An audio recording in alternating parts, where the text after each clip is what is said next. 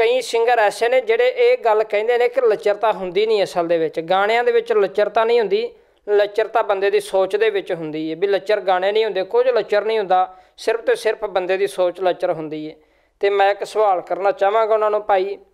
ਜੇ ਲੱਚਰਤਾ ਗਾਣਿਆਂ ਦੇ ਵਿੱਚ ਨਹੀਂ ਹੁੰਦੀ, ਚਲੋ ਮੰਨ ਲੈਨੇ ਆ ਤੁਹਾਡੀ ਗੱਲ ਕਿ ਗਾਣੇ ਲੱਚਰ ਨਹੀਂ ਹੁੰਦੇ, ਪਰੰਤੂ ਗਾ- ਸੋਚ ਲੱਚਰ ਹੁੰਦੀ ਹੈ ਤੇ ਜਿਹੜੀ ਸੋਚ ਗਾਣਿਆਂ ਨੂੰ ਲਿਖਦੀ ਏ ਉਹ ਸੋਚ ਤੇ ਲੱਚਰ ਹੋ ਸਕਦੀ ਹੈ ਤੇ ਲੱਚਰ ਸੋਚ ਦੇ ਨਾਲ ਲਿਖੇ ਗਏ ਗਾਣੇ ਵੀ ਲੱਚਰ ਹੋ ਸਕਦੇ ਨੇ ਤੇ ਇਹ ਵੀ ਕੋਈ ਪ੍ਰੂਫ ਨਹੀਂ, ਕੋਈ ਪੁਖਤਾ ਗੱਲ ਨਹੀਂ ਕਿ ਤੁਹਾਡੀ ਸੋਚ ਲੱਚਰ ਨਾ ਹੋਏ। ਜੇ ਕਿਸੇ ਦੀ ਸੋਚ ਦੇ ਬਾਰੇ ਤੁਸੀਂ ਕਹਿ ਸਕਦੇ ਹੋ ਕਿ ਸੋਚ ਲੱਚਰ ਹੁੰਦੀ ਹੈ, ਤੇ ਤੁਹਾਡੀ ਵੀ ਸੋਚ ਲੱਚਰ ਹੋ ਸਕਦੀ ਹੈ। ਜਿਹੜੀ ਸੋਚ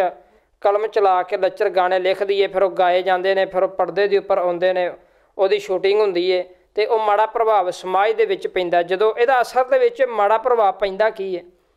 ਜਦੋਂ ਹਥਿਆਰਾਂ ਵਾਲੇ ਗਾਣੇ ਗਾਏ ਜਾਂਦੇ ਨੇ, ਜਦੋਂ ਸ਼ਰਾਬਾਂ ਵਾਲੇ ਗਾਣੇ ਗਾਏ ਜਾਂਦੇ ਨੇ, ਵੀ ਗਿੱਟੇ ਭੰਨ ਦਿਆਂਗੇ, ਅਸਲੇ ਦੇ ਨਾਲ ਅਸਲਾ ਚੱਕ ਲਿਆ, ਉਹ ਕਰਤਾ ਅਸਲੇ ਦੇ ਨਾਲ, ਤੇ ਜਦੋਂ ਨੌਜਵਾਨ ਹੁੰਦਾ, ਜਦੋਂ ਗਾਣੇ ਸੁਣਦਾ, ਉਹ ਆਪਣੇ ਤੇ ਟਿਕਾਉਂਦਾ ਗੱਲਾਂ ਵੀ ਇਹ ਗਾਣੇ ਦੇ ਵਿੱਚ ਜਿਹੜੀਆਂ ਗੱਲਾਂ ਕੀਤੀਆਂ ਜਾ ਰਹੀਆਂ ਨੇ, ਇਹ ਸਾਰੀਆਂ ਮੇਰੀਆਂ ਕੀਤੀਆਂ ਜਾ ਰਹੀਆਂ ਨੇ।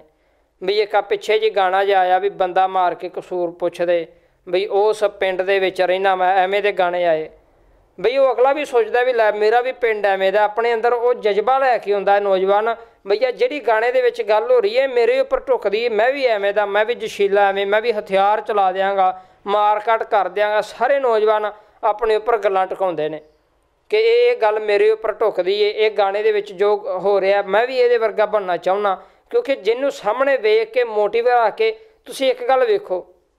ਜਦੋਂ ਸਿੰਗਰ ਜਿਵੇਂ ਦੇ ਵਾਲ ਬਣਾਉਂਦੇ ਨੇ, ਉਵੇਂ ਦੇ ਨੌਜਵਾਨ ਬਣਾ ਲੈਂਦੇ ਨੇ, ਫਿਰ ਤੁਸੀਂ ਇਹ ਗੱਲ ਕਿਵੇਂ ਕਹਿ ਸਕਦੇ ਹੋ ਕਿ ਸਿੰਗਰ ਦੇ ਗਾਏ ਗਾਣਿਆਂ ਦਾ ਪ੍ਰਭਾਵ ਨੌਜਵਾਨਾਂ ਦੇ ਉੱਪਰ ਨਹੀਂ ਪੈਂਦਾ? ਜੇ ਸਿੰਗਰ ਦੇ ਵਾਲਾਂ ਨੂੰ ਵੇਖ ਕੇ ਨੌਜਵਾਨ ਵਾਲ ਰੱਖਦੇ ਨੇ, ਇਹਦਾ ਮਤਲਬ ਸਿੰਗਰ ਜਿਹੜੇ ਗਾਣੇ ਗਾਉਂਦਾ, ਉਹਨਾਂ ਗਾਣਿਆਂ ਦਾ ਪ੍ਰਭਾਵ ਵੀ